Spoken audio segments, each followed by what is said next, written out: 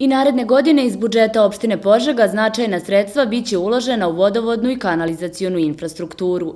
Javno-komunalno preduzeće Naš dom u 2022. godini najpre očekuje završetak projekata iz prethodne godine, a tu se najpre misli na tri najvažnija projekta. Kao prvo izgradnja crpne stanice na Zoljevini koja će omogućiti bolje vodosnabdevanje u šest požeških sela, zatim izgradnja kanalizacije u Rasnoj u dužini od 4100 metara i na kraju možda i najvažniji projekat za našu opštinu, rekonstrukcija starog izvorišta za koji je iz budžeta opštine Požega opredeljeno 37 miliona dinara.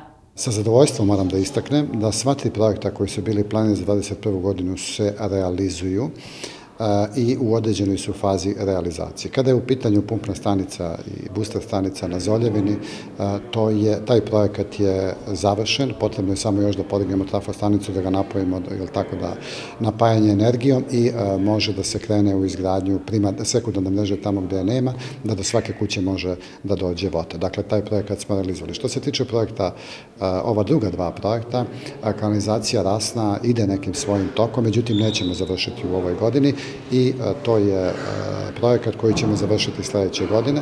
Ja se nadam da će već u januaru biti gotovo ono što sam planio do kraja godine, znači sa malim kašnjenjem koji su uzrokovani vremenskim uslovima i krećemo sa izgradnjom sekundarne mreže. Treći projekat iz ove godine koji će biti, za, čija realizacija se očekuje i završetak u sledećoj godini, 22.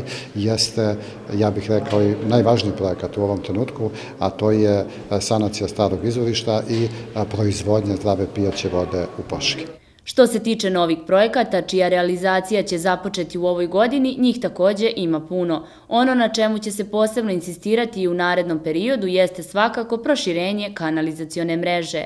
Ako se uzme u obzir da imamo 1000 km vodovodne mreže, a 45 ili 50 km kanalizacijone mreže, jasno je na čemu treba da u budućnosti radimo. U ostalom, vrlo nam je važno da te otpadne vode e, e, ucevimo, da ih kontrolišemo, da sačuvamo životnu sredinu, ekologija nam je vrlo važna i zato e, apsolutni akcenat stavljamo na kanalizaciju.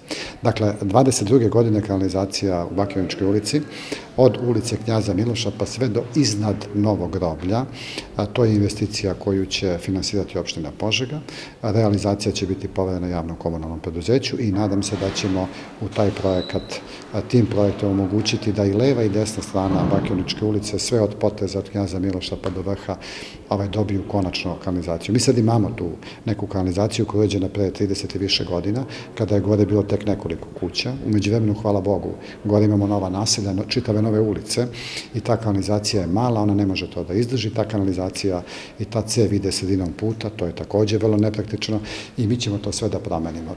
S obzirom da je u pitanju projekat koji kreće od početka, neophodno je odraditi sve pripremne radove, ali iz javno-komunalnog preduzeća Naš dom nadaju se da će do kraja godine sve biti završeno. Takođe postoje i projekti koji prevazilaze okvire Požeškog komunalnog preduzeća, ali su svakako od velike važnosti. To je pre svega projekat za preradu otpadnih, izgradnja pogona za preradu otpadnih voda i javno komunalno preduzeće će gledati da svaki svoj projekat prilagodi tom velikom regionalnom projektu i, kako sam rekao, glavni fekalni kolektor i sve što je vezano za kanalizaciju, uređenje te oblasti, naravno, još jednom kažem, vrlo je važno zašto životne sredine i ekologije.